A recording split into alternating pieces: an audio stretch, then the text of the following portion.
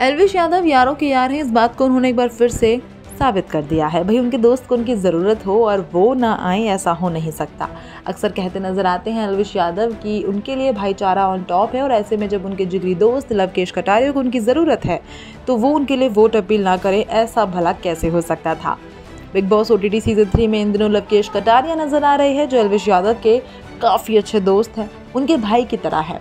तो इस बीच अब सेकंड लास्ट एविक्शन है, जिसमें लवकेश कटारे भी नॉमिनेटेड है अपने दोस्तों के साथ। तो एलविश यादव ने अपनी एलविश आर्मी से लवकेश कटारे के लिए वोट्स मांगे हैं। उन्होंने अपने इंस्टाग्राम पर एक वीडियो शेयर किया और बताया कि वोटिंग लाइन्स कब तक खुली हुई हैं।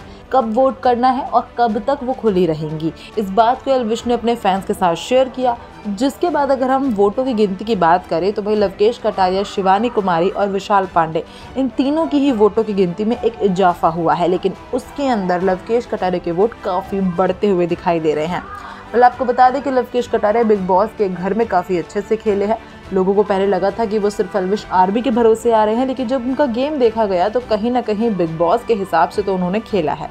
बिग बॉस के घर में उन्होंने अपनी एक अलग जगह बनाई। एलविश के दोस्त के अलावा एक अपनी खुद की इमेज बनाकर निकलेंगे लवकेश कटारिया, ये फैंस का कहना है। और अब यहाँ पर जब एलविश के वोट अपील सामने आ चुकी है तो यहाँ लवकेश कटारिया का एडिक्ट होना तो बनता ही नहीं है। तो कहीं ना कहीं खबरों की माने तो लवकेश कटारिया तो इस बार शायद एविक्शन से सेव हो जाएँगे, क्योंकि जियो सिनेमा से एक गलती हो गई थी। जियो सिनेमा ने एक पोस्ट किया जिसमें उन्होंने वोट्स के बारे में बताते हुए जो फ़ोटो पोस्ट की, वो विशाल पांडे की थी।